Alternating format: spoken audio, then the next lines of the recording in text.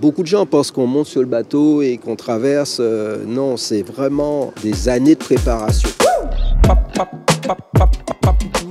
Moi, la course au large, c'est pas un... Enfin, il y a des Guadeloupéens qui ont fait des, coups, aller aller une fois.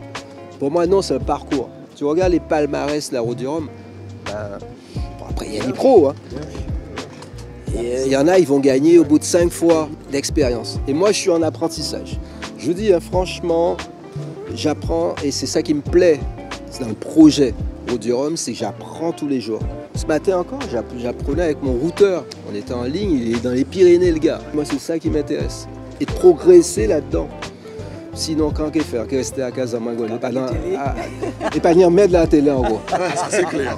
Eh ben, déjà, un grand merci hein, à la région Guadeloupe, à toute l'équipe. C'est un plaisir de travailler, eh ben, de, voilà, de collaborer avec vous. Et j'espère qu'on pourra faire ben, une bonne collaboration jusqu'à l'arrivée et même après, parce que la, la route du Rhum, il y a l'avant, il y a la course, il y a l'après. Objectif, c'est vous voir à l'arrivée, et moi, euh, avoir du plaisir aussi sur l'eau. Et je pense que s'il y a le plaisir, derrière, le reste va suivre.